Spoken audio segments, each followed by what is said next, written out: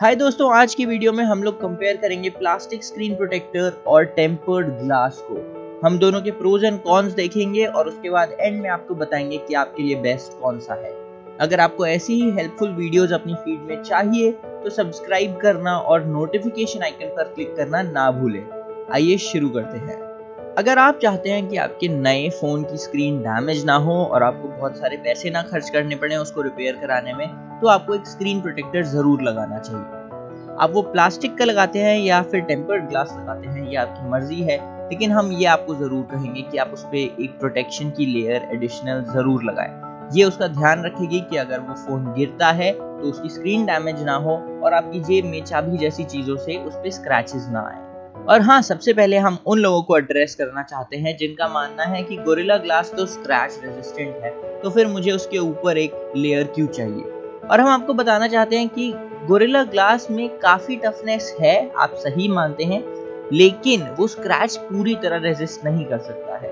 अगर आप अपने फ़ोन को बिना किसी प्रोटेक्टर के यूज़ करेंगे तो आप ये नोटिस करेंगे कि उसमें छोटे छोटे स्क्रैचेस आने लगते हैं और वो उसकी लुक और फील को ख़राब कर सकता है। इसलिए आपके फ़ोन में चाहे कोई भी गोरिल्ला ग्लास हो, हम आपको स्ट्रांगली रिकमेंड करेंगे कि आप उस पर एक लेयर प्रोटेक्शन की ज़रूर लगाएँ। सबसे पहले हम लोग बात करते हैं प्लास्टिक के स्क्रीन प्रोटेक्टर्स की और उनके फ़ायदों की। इसका नंबर वन फ़ायदा तो यही है कि प्लास्टिक का स्क्रीन प्रोटेक्टर आपको हमेशा टेम्पर्ड ग्लास से सस्ता पड़ेगा।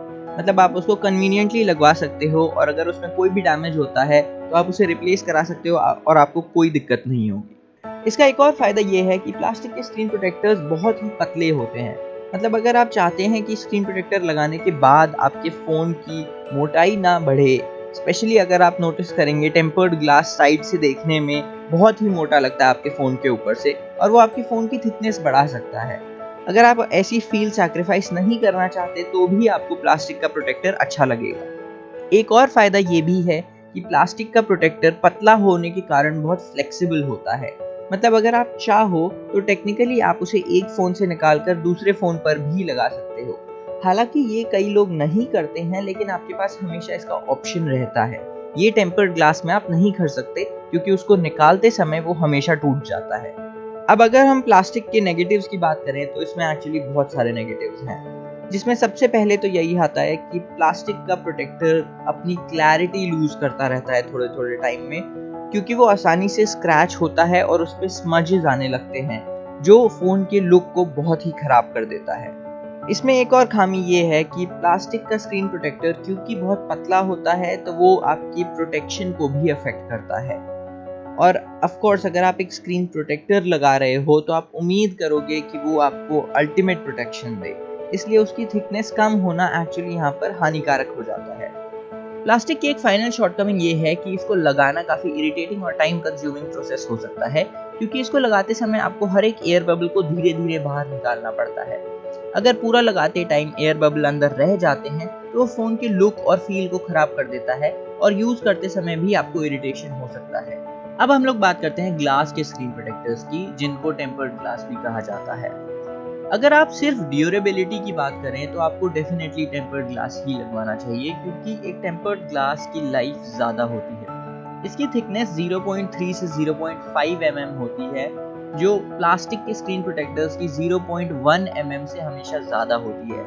इसका मतलब ये है कि इसको स्क्रैच होना ज़्यादा मुश्किल होता है, और अगर आपके फ़ोन पर टेम्पर्ड ग्लास लगा हो और वो गिरे तो उसकी स्क्रीन को डैमेज होने के चांसेस बहुत कम है। मतलब आपका टेम्पर्ड ग्लास बहुत लंबा भी चले। अगर हम लोग यूजेबिलिटी की बात करें तो इसमें भी टेम्पर्ड ग्लास बेहतर होता है, क्योंकि उसकी फील बहुत नेचुरल होती है और आपको ऐसा लगता है कि आप एक्चुअली फ़ोन के सरफेस पे ही अपनी फिंगर्स चला रहे हैं। कंपेयर टू प्लास्टिक का स्क्रीन प्रोटेक्टर जिसमें आपको खुरदुरापन फील होने लगता है, एक टेम्पर्ड ग्लास आपको हमेशा स्मूथ और अच्छी फील देगा। कुछ टेम्पर्ड ग्लासेस में आपको एक ओलियोफोबिक कोटिंग भी मिलती है, जो बेसिकली फिंगरप्रिंट्स कम करता है और स्मजेस भी कम करता है। इसका मतलब आपके फ़ोन का लुक और भी अच्छा रहेगा और आपको कम टाइम उसको वाइप करना पड़ेगा ताकि स्क्रीन एकदम साफ़ हो जाए। ये ऑप्शन आपको प्लास्टिक के स्क्रीन प्रोटेक्टर्स में नहीं मिलता है।